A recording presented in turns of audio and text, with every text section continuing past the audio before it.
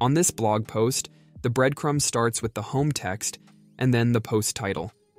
We can add a second link text to this structure by changing the breadcrumb settings.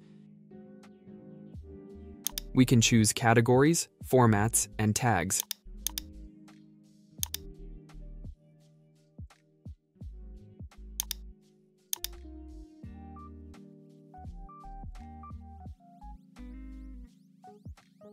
But what if instead of a category, we add a custom text and link such as blog that links to the blog page?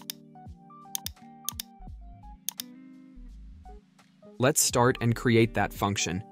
You can use your child themes functions.php file, or in this example, I'm using the snippets plugin. Let's name it custom blog breadcrumbs. We are going to use the WPSEO breadcrumb links filter by Yoast.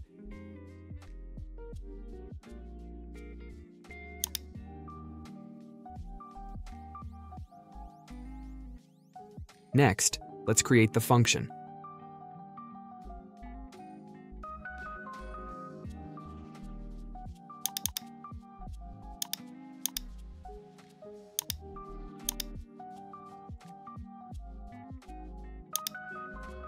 Add a condition to check if the Yoast breadcrumb function exists,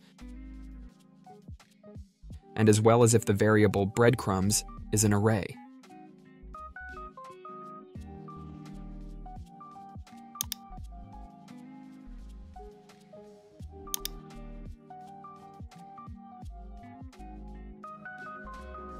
If both are true, let's create an array of keys such as text and URL and values such as blog.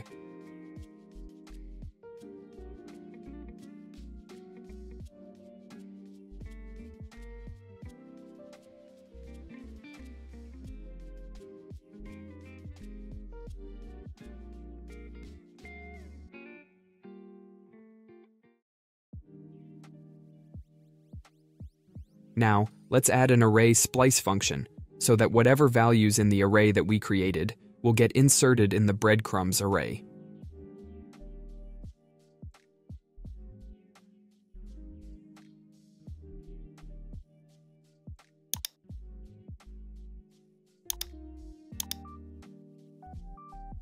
Next, let's return the modified breadcrumbs. Then we can save it.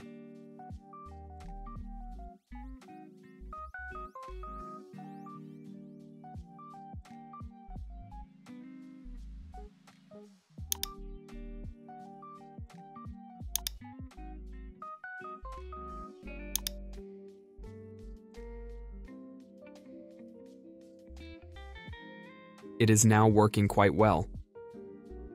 One last thing is to wrap the condition and the array splice function we added earlier so that it only affects the blog posts and will not take effect on the other post types.